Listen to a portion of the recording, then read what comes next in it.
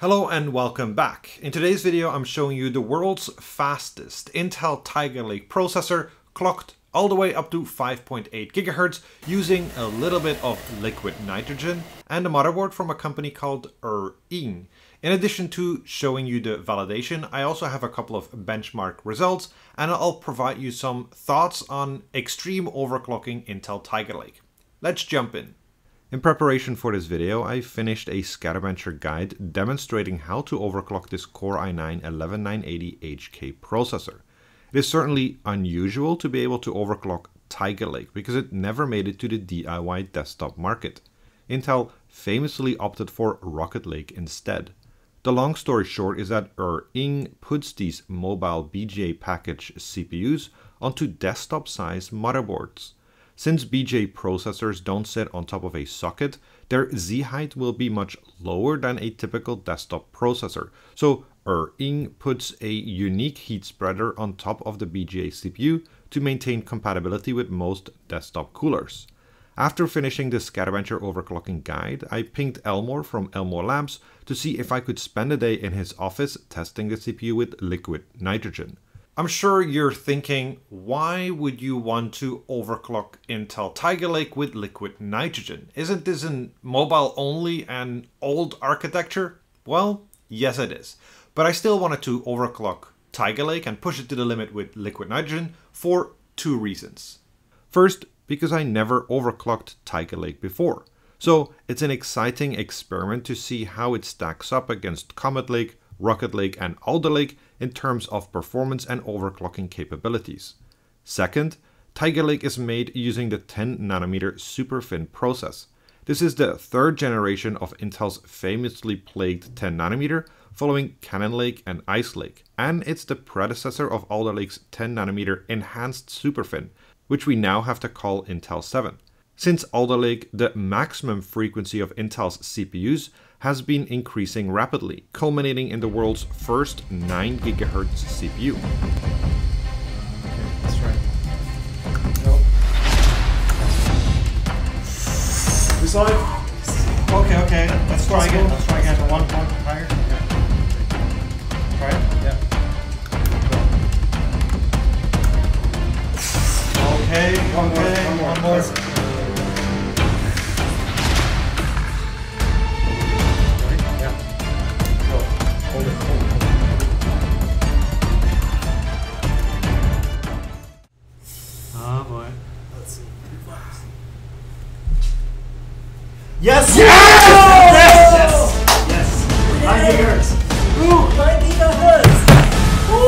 Gigahertz! First 9 gigahertz CPU. So I'm curious if Tiger Lake also has any of that high frequency potential in it. My main objective for this video was to have a legitimate claim to the title of World's Fastest Intel Tiger Lake. And for that I figured I need two data points. First, of course, the highest frequency ever recorded for Tiger Lake, and two, a P1 in a benchmark. For the CPU frequency record, I rely on the CPU-Z database. The highest CPU frequency I could find was 5187.31 MHz by X17 on an Alienware laptop. I could even beat that by using regular water cooling, achieving 5.4 GHz. So my CPU frequency target was twofold. One, the highest validated CPU-Z frequency, and two, the highest validated XOC CPU-Z frequency. The difference is easily explained. In normal mode or non-XOC mode, CPU-Z will run a very heavy all-core workload before recording the frequency. In XOC mode, it just records the frequency. For the benchmark objective, I checked HardwareBot to find the most used SKUs and benchmarks with Tiger Lake processors. Obviously, there aren't many. The Core i7 11800H has the most submissions with 5100 results. The Core i5 11400H has the second most with about 670 results, and the 11980HK is the third most with about 650 results. Then I looked for the most used benchmarks, and it turns out that's XTU 2.0. The highest Tiger Lake score was 5503 by The Crusher, with a Core i7 11800H at 4.6 GHz. Ironically, I was pretty confident I could crush this score with liquid nitrogen. Next up is the hardware system. There were a couple of things that I wanted to get right. First, I swapped out the thermal paste between the CPU die and the heat spreader with Thermalright TFX Extreme. This paste does pretty well under extreme cooling conditions. Second, I used the ElmorLabs Volcano LN2 container. That's the same pot used for the 9 GHz CPU frequency world record. I figured if it can do that, it'll suit my Tiger Lake as well. Third, I use an ElmorLabs Hot 300 heater controller and heater backplate. This is a nifty device that heats up the back of the motherboard, and that helps prevent the cold of the nitrogen from spreading across the PCB, which could create patches of condensation. Regarding potential challenges, there are definitely a couple of things that we need to look out for. First, Tiger Lake uses FIVR to power the CPU cores. Among the extreme overclocking community, FIVR is known to create a lot of difficulties under liquid nitrogen due to cold bug. To put it simply, FIVR stops operating below minus 100 degrees Celsius. Second, this motherboard has no auto rules to assist with extreme overclocking. Boards like the ROG Apex or Aorus Tachyon have a bunch of BIOS auto rules that help set the proper voltages and settings for pushing the CPU in XOC conditions. It might be difficult to diagnose or work around specific issues without the auto rules. Third, while we exchange the thermal paste between the CPU die and heat spreader, it is still a subpar thermal transfer mechanism, so we can expect some difficulties in high load scenarios.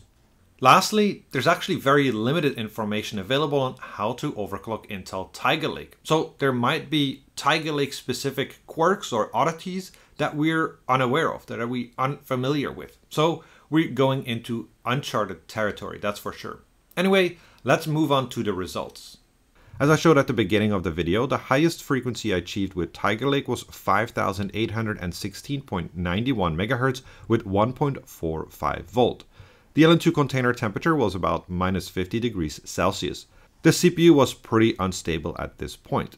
Strangely enough, it was impossible to run the 56x ratio, and I had to resort to BCLK overclocking to achieve the result.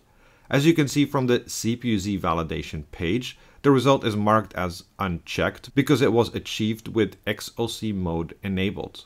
The highest stable frequency I achieved with Tiger Lake was 5486.58 MHz with 1.43 volt. CPU-Z marked this result as validated because it ran in non-XOC mode. The highest XTU 2.0 benchmark score achieved with Tiger Lake was 6301 point. The processor was clocked at 5486 MHz with 1.43 volt. The memory was clocked at DDR4 4000. While the LN2 container was at minus 70 degrees Celsius, the core temperature spiked to plus 19 degrees Celsius under load. This score was sufficient for P1 across all Tiger Lake submissions at HWBot. I also scored 17,390 in Cinebench R23 multi-core and 1,638 in Cinebench R23 single-core with those exact same settings. In terms of operating temperature, Tiger Lake did surprisingly well. I could keep the CPU running at minus 100 degrees Celsius, though I ran it at minus 50 degrees Celsius most of the time. The good news is that we achieved everything we set out to achieve. But could we do any better? I think so. The first and most crucial bottleneck for achieving better overclocking results is what I believe to be a PLL issue. Think about it. We can run everything stable at 55x, but cannot even set 56x. If that sounds like a familiar problem, you're right. It's pretty much what we saw on Sandy Bridge.